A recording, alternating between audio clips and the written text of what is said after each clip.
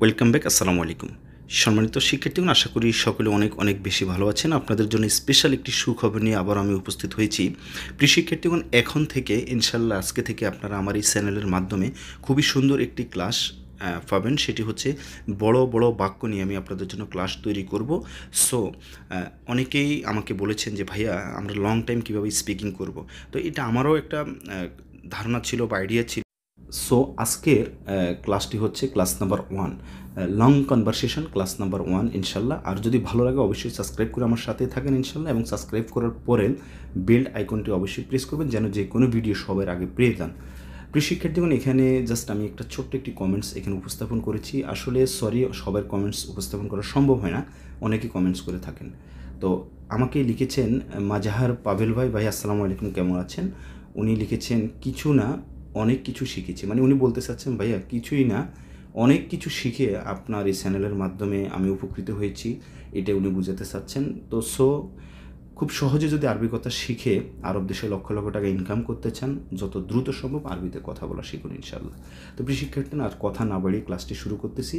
আর class শুরু করার পূর্বে প্লিজ আজকের এই ভিডিওতে সবাই ভিডিওর নিচে যেই লাইক বাটনটি দেওয়া আছে, সবাই একটা করে লাইক দিবেন আজকের ভিডিওতে আই হোপ ইনশাল্লাহ যদি ভালো লেগে থাকে, সর্বপ্রথম আমি এখানে যে সেন্টেন্সটি লিখেছি, আমরা একটু এক্সপ্লেন করে শিখব, ধৈর্য সহকারে দেখতে হবে। স্কিপ করবেন না, তাহলে কিছুই বুঝবেন না প্রিয় শিক্ষার্থীগণ। যেমন আমি লিখেছি, আহমেদ আচ্ছা তার আগে আমরা একটু বাংলাতে এক্সপ্লেন করব। সেটি হচ্ছে, আহমেদ গাড়িতে কতগুলো লোহা আছে তাড়াতাড়ি দেখো, কারণ সম্ভবত লোহা কিনতে হবে। আপনি কোনো একটি সংস্থাতে আছেন বা আপনার মুদির কফিল বা সিনিয়র বা ফোরম্যান আপনাকে বলতেছেন যে গাড়িতে কতগুলো লোহা আছে, তাড়াতাড়ি দেখো। মানে তাড়াতাড়ি দেখো যেহেতু আমরা কাজে যাব, কাজ করতে হবে, তাই না?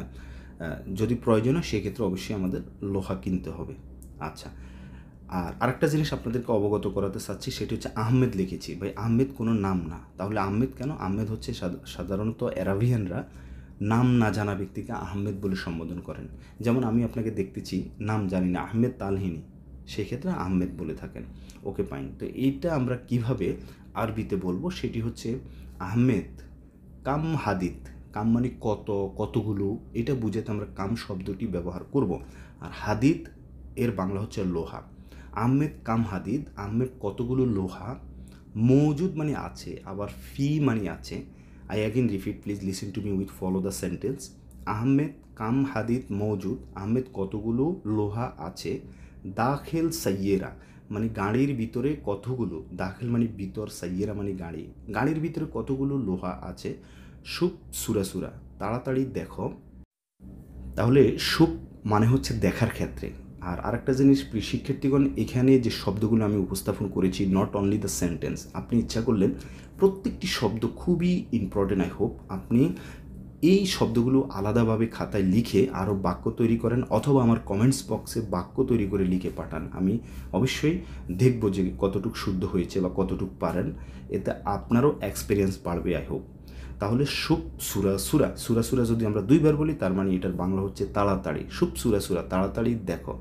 হ্যাঁ ওকে? সুরা সুরা রু এটাও আবার বলতে পারি তাড়াতাড়ি যাও। আচ্ছা আবার আশ্রা মানে হচ্ছে তাড়াতাড়ি। এরপর লিখেছি আসান কারণ। কেন দেখতে বলছি তাড়াতাড়ি? আসান কারণ। আসান মানে কারণ আসান মানে বিষয়। মুমকিন, সম্ভবত হাদিদ এস্তেরি লাজেম। এস্তেরি মানে ক্রয় করা, লাজেম মানে অবশ্যই বা দরকার। মুমকিন, হাদেদ হাদিদ ইস্তেরি লাজেম মানে সম্ভবত বা অবশ্যই কিনতে হবে। কি কিনতে হবে? লোহা কিনতে হবে এই জন্য আপনাকে দেখতে বলতেছেন উনি। প্রিয় এখন দেখুন, আমি যখন আপনাকে বলেছি যে আমি তাড়াতাড়ি দেখো কতগুলো লোহা আছে। সুপ, সুরা সুরা, কাম, হাদিদ মজুদ, দাখিল সাইয়ারা মানে গাড়ির ভিতরে। আচ্ছা এখন উত্তরে আপনি বলতেছেন কি? আপনি অবশ্যই দেখতে যাবেন। এখন আমি এখানে লিখেছি কি? আচ্ছা তার আগে বাংলাতে একটু এক্সপ্লেন করি। আপনি যখন দেখতে গেছেন, সমস্যা হতে পারে না, হয়তো আপনি গাড়িতে উঠতে পারতেছেন না বা গাড়ির দরজা বন্ধ সামথিং লাইক দ্যাট তো আপনি বলেছেন, মুদির, একটু অপেক্ষা করুন, আমি দেখতেছি। আবার দেখতে গিয়ে আপনি বলতেছেন, মুদির শোয়ের সমস্যা মানে একটি প্রবলেম আছে, একটু প্রবলেম আছে। এরপর মুদির বলতে পারে, কি সমস্যা বলো? হ্যাঁ গাড়িতে ওঠা সম্ভব না। এরকম হয় না, কাজের ক্ষেত্রে অনেক সময় ওঠা সম্ভব না। অবশ্যই মই লাগবে, অবশ্যই আরও দুজন লাগবে, অবশ্যই রশি লাগবে, তাই না? এরকম। হাবল মানে হচ্ছে রশি। এখন এটাকে যদি আমরা আরবিতে বলি, কীভাবে বলবে? একটু ঠান্ডা মাথায় একটু রিয়েলাইজ করার চেষ্টা করুন। তো আপনাকে বলার পর আপনি কি বলবেন? মুদির সম্মানজনক একটি শব্দ, যেমন আমরা বলি বস ওকে ফাইন মুদির সোয়া এন্তেজার। সোয়া মানে একটু বা অল্প। সোয়া এন্তেজার, মুদির, একটু অপেক্ষা করুন। অপেক্ষা করা অর্থে এন্তেজার শব্দটি ব্যবহার করব। এরপর একটু অপেক্ষা করুন, আনাসু। আমি দেখতেছি। এখন দেখুন কৃষিকে আমি দেখতেছি, আমি করতেছি, এগুলো যদি গ্রামাটিক্যাল সিস্টেমে আপনি মেক করতে যান সো আপনার জন্য খুবই কঠিন হবে আর এটা কোনো প্রয়োজন নেই। কারণ অ্যারাবিনরা সাধারণত এইভাবে কথা বলে, যা শব্দের সাথে শব্দ মিলিয়ে, আনাসুপ, আমি দেখতেছি, আনাসুপ, আমি দেখেছিলাম। বাট আমি দেখেছিলাম আনাসুপ তো ডোন্ট নিড টু জাস্ট বলেন আনাসুপ আনা মালুম হ্যাঁ? আনাসুপ আমি দেখি ইন্তা এন্তেজার তুমি একটু অপেক্ষা করো। তাহলে মুদির সোয়া এন্তেজার, একটু অপেক্ষা করুন। আনা সুপ সুপ মানে দেখা, আনা মানে আমি আমি দেখতেছি। এরপর আপনি দেখতে গিয়ে একটি প্রবলেম আপনি পেস করতেছেন ফিল করতেছেন, সেটি হচ্ছে কি, মুদির সোয়া মুশকিলা, মুদির সোয়া মুদির একটু সমস্যা আছে। আবার আমরা এভাবেও দিতে পারি, মুদির ফি সোয়া মুদির ফি মুদির আছে, কি আছে? সোয়া মুশকিলা, মুদির একটু সমস্যা আছে। এরপর মুদির কি বলতেছেন? শুনো। বা বলতে পারেন শুনো মুশকিলা, শুনো মানে কি, মুশকিলা মানে সমস্যা। আচ্ছা কি সমস্যা? এরপর আপনি বলেছেন এরকাপ সাইয়েরা মাই ইকদার, লাজেম সুল্লাম। আচ্ছা মনে হয় কিছুই বুঝেন না, তাই না? যেমন আমরা গাড়িতে উঠার ক্ষেত্রে কি বলব? এরকাপ সাইয়েরা। যে তাড়াতাড়ি উঠার ক্ষেত্রে বলব এরকাপ সাইয়েরা, তাড়াতাড়ি উঠুন। আচ্ছা তো আমি এখানে লিখেছি এরকাপ সাইয়েরা। সাইয়েরা মানে গাড়ি, আর উঠার ক্ষেত্রে এরকাপ মানে গাড়িতে উঠতে মাই মানে না, ইকদার মানে কি? সম্ভব।